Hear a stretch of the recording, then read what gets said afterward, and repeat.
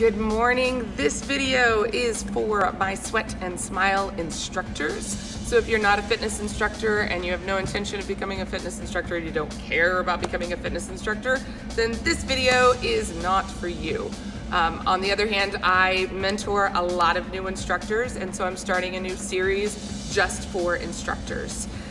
So we're gonna start with the whole series with what I think is the most important thing as an instructor, and that is your very first impression.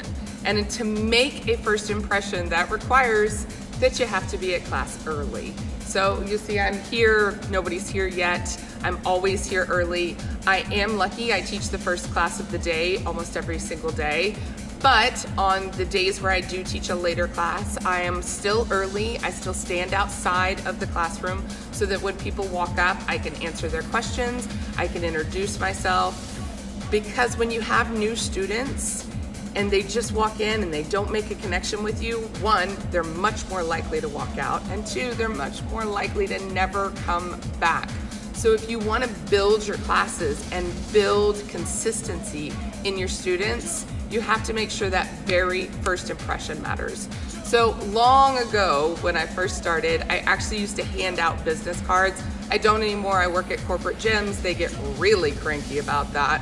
Um, so I don't do it anymore. But this is eight, nine years later, and I still have students who say, I remember the very first class when you handed me your business card and I got that connection. Now, part of that was my business card does have my before picture on it. So I would hand people the card and be like, look, I understand. I remember starting fitness and this is how far I've come. So it helped build that um, relationship. So if you're in like a private studio and you can do that, I really recommend it because they've done studies and as great as it is when you remember everybody's name, it is more important for people to know your name. When people know your name, they feel like they have a connection with you. So that means that every time you start a class, even if you are teaching to people you've all met before, you need to introduce yourself so that they get to know your name. And also, this is why I strongly encourage social media, which is a whole nother video. But as long as people get to know your name, they're gonna build that connection. So when you introduce yourself, make sure you say your name, you get their name and work really hard at learning it, and then tell them what to expect in the class that they are about to take.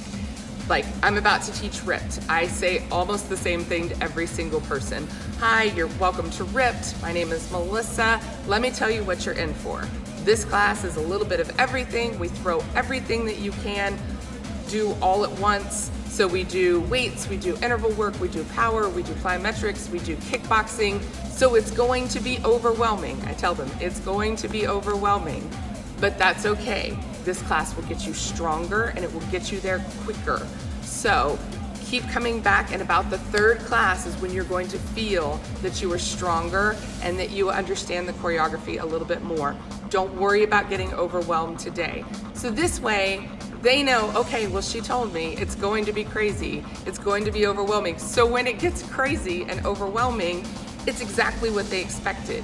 And then they're like, oh, okay, well, that third class will feel better.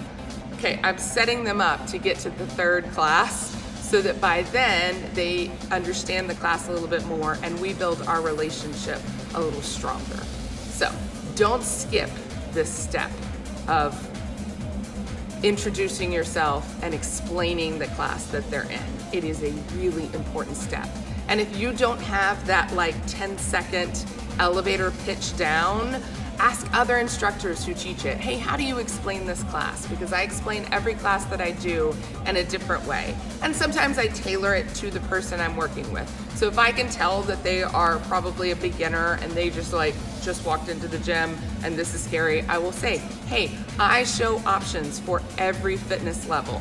So this is a class that will grow with you. As you get stronger, there's always the next option.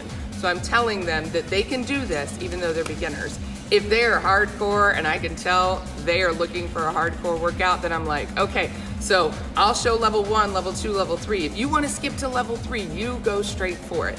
So you need to pay attention to the person that you are talking to.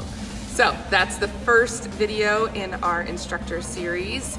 remember that this is a wonderful job and these people who are coming to see you they really look to you for a lot. So start it off strong, get there early, build that connection with them so that they'll keep coming back to you over and over again. Have a great day and sweat and smile.